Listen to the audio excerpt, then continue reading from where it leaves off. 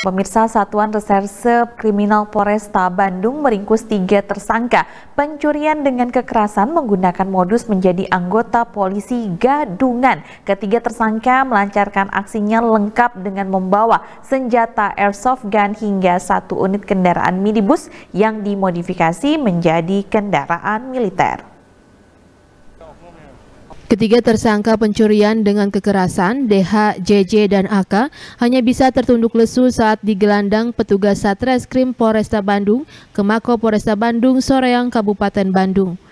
Ketiga tersangka pencurian dengan kekerasan atau curas tersebut kerap melakukan aksinya di wilayah hukum Polresta Bandung. Modus ketiga tersangka dalam melakukan aksinya yakni dengan mengaku-ngaku menjadi anggota kepolisian aktif.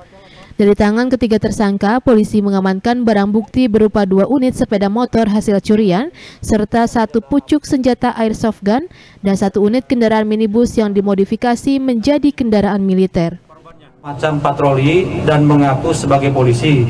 Kemudian dilengkapi juga dengan senjata uh, api, namun senjata api replika lah mungkin atau airsoft gun ini. Nanti kita tanyakan lebih lanjut. Dan juga membawa center yang berisi kejut listrik. Ini cukup berbahaya juga. Modus mereka mendatangi tempat-tempat tertentu, ada sekelompok orang, mereka berhenti mengaku sebagai polisi, kemudian meriksa identitasnya, kemudian mengambil handphone di satu tempat, kemudian bergerak ke tempat lain, juga melakukan pengambilan secara paksa.